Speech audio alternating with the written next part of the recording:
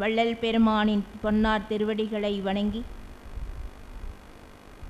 அருவமாயிருந்து அருள் பாலித்து கொண்டிருக்கின்ற தவத்திரு கண்ணியப்ப சுவாமிகளின் திருவடிகளையும் வணங்கி மலத்திலே கிடந்தேன் தன்னை எடுத்தருளி மண்ணிய வடிவடித்து அறிஞர் குலத்திலே பயிலும் தரமும் எங்கெனக்கு கொடுத்துள்ளே விளங்கு சர்குருவே பலத்திலே சிற்றம்பலத்திலே பொன்னம்பலத்திலே அன்பர்தம் அறிவாம் தளத்திலே ஓங்கும் தலைவனே என் தந்தையே கேட்க என் மொழியே. அருமையான இந்த மாலை வேளையிலே திருப்பள்ளி எழுச்சி என்று சொன்னால் காலையிலே பாடுவார்கள். அதுவும் பூபால ராகத்தில் தான் பாடுவார்கள். பொழுது அந்த காலை பொழுதிலே இந்த ராகத்தில் ரொம்ப பாடுவாங்க. பதம் பிடித்தவரெல்லாம் அம்பலப்பாட்டே பாடினர் ஆடினர் பரவி நிற்கின்றார் என்ற ஒரு அருமையான ஒரு வாக்கியத்தை எமக்களித்து அந்த திருப்பள்ளி எழுச்சியை நாமெல்லாம் சிந்திக்கின்ற அந்த சிந்தனையை நமக்கு கொடுத்தருளிய அண்ணா அவர்களுக்கும் எல்லாம் வல்ல வள்ளல் பெருமானின் திருவருளையும் சிந்தித்து இந்த உரையை ஆரம்பிக்கலாம். திருப்பள்ளி எழுச்சி. சாதாரணமாக திருப்பள்ளி எழுச்சி என்று சொன்னாலே கோவிலில் இறைவனை பள்ளி அறையிலே சென்று துயில் ப துயிலப்படுத்திவிட்டு மறுநாள் காலையிலே திருப்பள்ளி எழுச்சி பாடுவார்கள். வடமொழியிலே சுப்பிரபாதம் என்று சொல்லுவார்கள். திருப்பள்ளி எழுச்சி அப்படின்னு சொல்லும்பொழுது திரு என்று சொன்னால் மங்களமான ஒரு அடைமொழி பள்ளி என்று சொன்னால் என்ன சொல்லுவோம்? மாணவர்களெல்லாம் கல்வி பயிலுகின்ற ஒரு இடத்தை பள்ளிக்கூடம் என்று சொல்லுவோம். இறைவன் எழுந்து துயில் எழுகின்ற துயில் கொள்ளுகின்ற இடத்தை பள்ளியறை என்று சொல்லுவோம். எழுச்சி என்று சொன்னால் எழுப்புதல். துயில் எடை நிலை அப்படின்னு சொல்லுவாங்க பெரியவங்க.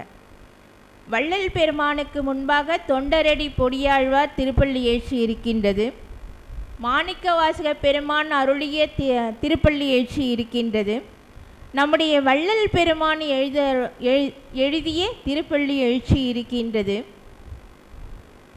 அந்த திருப்பள்ளி எழுச்சியில் நிஜமாகவே ஆண்டவன் தூங்குறானா? அவனை நம்ம எழுப்பணுமா? சிந்திக்கணும் இல்லையா? நிஜமாக தூங்கிட்டா இருக்கான் அவன். நம்ம தான் தூங்கிட்டு இருக்கோம்.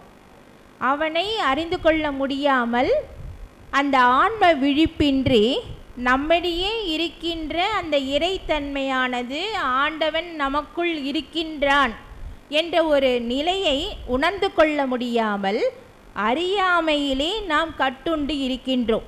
அந்த ஆன்ம ஆன்ம விழிப்பு நிலையை தட்டி எழுப்பி நமக்குள் ஆண்டவன் இருப்பதை உணர்ந்து அவன் கருணை அளிக்க காத்து கொண்டிருக்கின்றான் என்ற நிலையை சொல்லுவதுதான் திருப்பள்ளி எழுச்சி.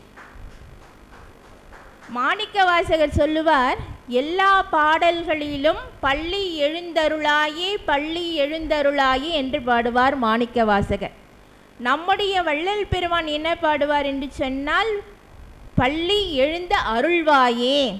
அதில் அருளாயேன்னு வரும். இதில் அருள்வாயே என்று வள்ள வள்ளல் பெருமான் சொல்வார். ஆனால் ஒரே ஒரு பாடலில் மட்டும் எழுந்தருளாயே என் குருவே எழுந்தருளாயே. குருவை எழுந்தருளை தானே பண்ணணும்? அதனால் மூணாவது பாடலில் குருவே எழுந்தருளாயி என்று பாடுவார்கள். முதல் பாடலில் ஐயா ரொம்ப அற்புதமாக ரொம்ப அண்ணா சொன்னது போல் ரொம்ப அருமையாக பா பாடியிருப்பாங்க. அந்த பத்து பாடல்களும் நமக்குள்ளே இருக்கின்ற இறை உணர்வை தட்டி எழுப்பி நமக்குள்ளே அந்த இறை அனுபவத்தை அனுபவிக்க வேண்டும். மாணிக்கவாசர் என்ன பண்ணுறார் அவருக்குள்ளே இருக்கின்ற இறைத்தன்மையை தட்டி எழுப்பி இறைவனுடன் ஒன்றரை இரண்டரை கலந்து விடுகின்றார் கலந்து விடுகின்றார். நம்முடைய வள்ளல் பெருமானை என்ன பண்ணுறாங்க அப்படின்னா நான் தனக்குள் இருக்கின்ற இறை உணர்வை தட்டி எழுப்பி அவனை அனுபவித்து மற்ற உயிர்களும் அனுபவிக்க வேண்டும் அந்த நிலையை அனுபவிக்க வேண்டும் என்று சொல்லி எழுந்த அருள்வாயே எழுந்த அருள்வாயே என்று வள்ளல் பெருமானவர்கள் சொல்லுவார்கள். முதல் பாடல் ஐயா என்ன சொல்லுவாங்க? பொழுது விடிந்ததென் உள்ளமென் கமலம் பூத்தது பொன்னொளி பொங்கியதெங்கும் தொழுது நிற்கின்றனன் செய்பணியெல்லாம் சொல்லுதல் வேண்டும் என் வல்லசர் குருவே முழுதுமானான் என ஆகம வேத முறைகளெல்லாம் மொழிகின்ற முன்னவனே எழுதுதல் அறிய சீர் அருட்பெரும் ஜோதி என் தந்தையே பள்ளி எழுந்தருள்வாயே என்று சொல்லி முடிப்பார். அதாவது இறைவனை நாம் அடைய வேண்டும். இறைவனை உணர வேண்டும். அதற்குரிய தகுதிகள் நமக்கு இருக்கணும்.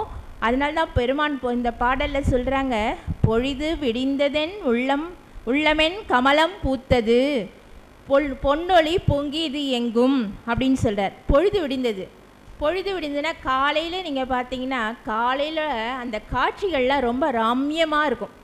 காலையில் அப்படியே பொழுது விடியும். அப்படியே அந்த பொழுது விடிஞ்சு அப்படியே கதிரவன்லாம் அப்படியே உதயமாவான் அப்படி இந்த பறவைகள் எல்லாம் அப்படியே பறக்கும். கீச் கீச் கீச்சின்னு அப்படியே பறக்கும். அந்த காலை பொழுது மிகவும் ரம்மியமாக இருக்கும். இது புறக்காட்சி. அகத்தில் ஒரு காட்சி இருக்குது அகத்தில் என்ன காட்சி? பொழுது விடிந்தது என் உள்ளமென் கமலம் பூத்தது. பொழுது விடிந்தது அப்படின்னு சொன்னால் அது வரைக்கும் இரவாக இருந்தது. நம்ம இருளிலே மூழ்கி இருக்கின்றோம் இருள் என்னும் மாயையிலே மூழ்கி இருக்கின்றோம் நம்ம நாம் நம்மை அறியாமல் கிடந்து உழல்கின்றோம்.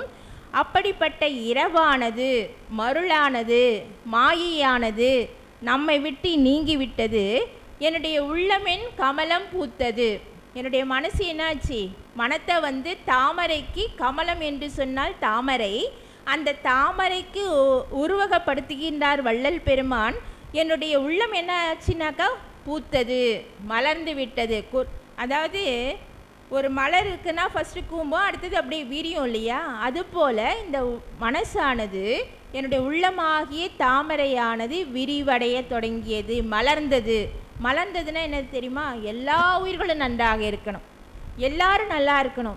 அப்படின்ற ஒரு தகுதியுடைய மனதா மனமானது பூத்தது. பொன்னொழியா பொன்னொழியானது எங்கும் சூழ்ந்தது.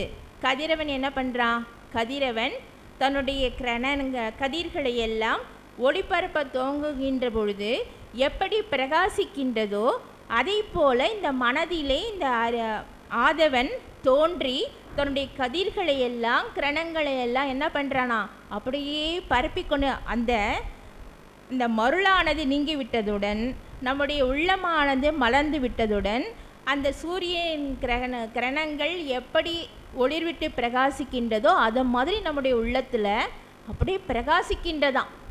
அட இறைவனோட அருள் கிடைச்ச உடனே எப்படி பிரகாசிக்கின்றதோ அதை போல பிரகாசிக்கின்றது. இதற்கு நான் தகுதி உடையவன் ஆகிவிட்டேன்.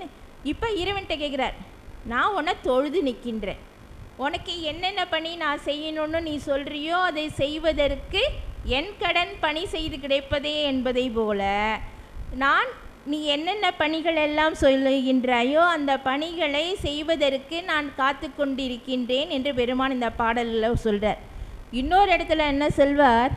ஆரா அமுதம் அளித்தருளி அன்பால் இன்ப நிலை கேற்றி சீரார் திருச்சிற்றம்பலவா? நின் செல்வ பிள்ளையாக்கினையே ஏறார் இன்பங்கள் பல எல்லாம் பொருந்தி இருக்கின்றேன். தீரா உலகில் அடி சிறியேன் செய்யும் பணியை செப்புகவே. நான் என்னென்ன பணிகளெல்லாம் செய்யணுன்ட்டு நீ சொல்றியோ அதை செய்வதற்கெல்லாம் நான் காத்து கொண்டிருக்கிறேன் அதற்குரிய முழு தகுதி உடையவன் ஆகிவிட்டேன் எல்லா இன்பங்களும் பொருந்தி நிற்கின்றேன்னு இன்னொரு பாடல் ஐயா சொல்லுவாங்க அதுபோல இறைவன் என்ன பணியை செய்வதற்காக வள்ளல் பெருமானை அனுப்பினான். பாருய புரிகன பணித்தன கருளி ஆருயிர் குள்ளொளிர் அருட்பெரும் ஜோதி. இந்த பாரெல்லாம் உய்யுமாறு உனக்கு அவருக்கு வேலை கொடுத்தாராம் இறைவன். பாருய புரிகன பணித்தன கருளி ஆறுயிர்க்குள்ளொளி அருட்பெரும் ஜோதி என்று பெருமான் சொல் சொல்கிறாங்க அதுபோல அவர் தொழுது நிற்கின்றாராம். அப்படியே அடிபணிந்து இறைவன் முண்டை தொழுது நின்று அவர் என்ன பணியை செய்வதற்கு? தலையால் காலால் வாயால் சொல்கிறத தலையால் செய்வதற்கு வள்ளல் பெருமான் காத்து கொண்டிருக்கின்றார். இறைவனை பற்றி அடுத்த பெருமையை சொல்கிறார் முழுதுமான் ஆனன ஆகம வேத முறைகளெல்லாம் ஒழிகின்ற முன்னவனே. ஏ இறைவன் எப்படிப்பட்டவன்?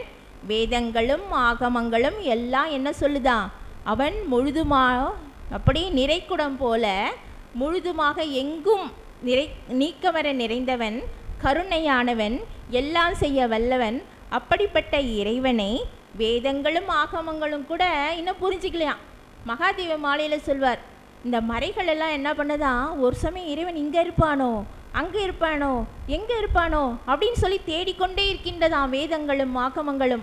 அதே போல் அப்படிப்பட்ட வேதங்களும் ஆகமங்களும் கூட கடைசியில் என்ன முடிவுக்கு வருதா ஆஹா இவன் முழுதுமாக இருக்கின்றான். எங்கும் நீக்கமரன் இருக்கின்றான். எங்கும் நிறைந்து இருக்கின்றான் என்று முடிவுக்கு வந்ததுவாம் அந்த வேதங்களும் ஆகமங்களும்.